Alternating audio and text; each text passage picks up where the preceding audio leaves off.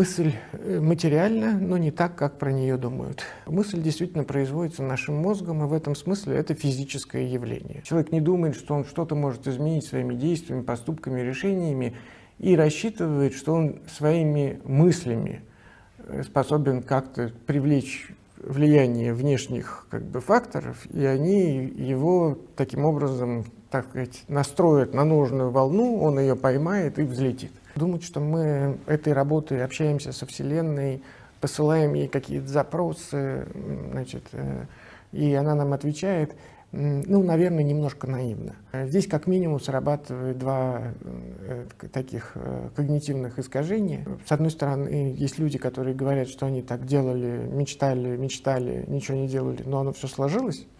Вот. Э, такое может быть, потому что есть такое когнитивное искажение, называется ошибка выжившего. Второе когнитивное искажение называется иллюзорная закономерность, неправильное составление э, причины и следствия. Представьте, что вы замечтались, что у вас все сложится невероятно. И вы прямо поверили в это. Это не желания стали избавля... исполняться магическим образом.